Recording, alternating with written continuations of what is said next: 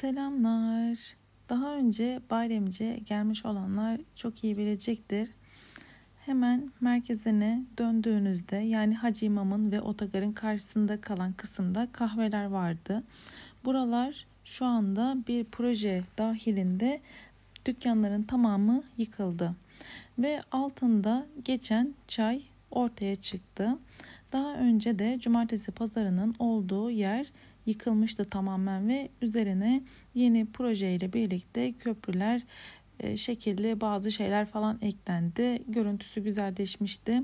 Şu anda aynı şeyi burası için gerçekleştirdiler. Gördüğünüz gibi tamamen üstü açıldı. Buraları bilenler bilir. Buralar kahveler doluydu ve herkes buralarda otururdu. Şu anda bomboş bir yer haline geldi. Üzeri tabii daha çalışmalar devam edecek. Daha da güzelleştirilecek.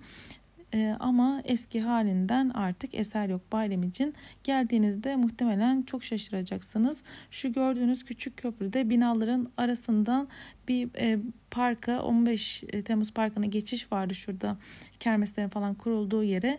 Bu köprü o köprü yanında binalar doluydu ama şu anda yok. Bu şekilde. Beğendiniz mi yeni görüntüsünü Bayram için?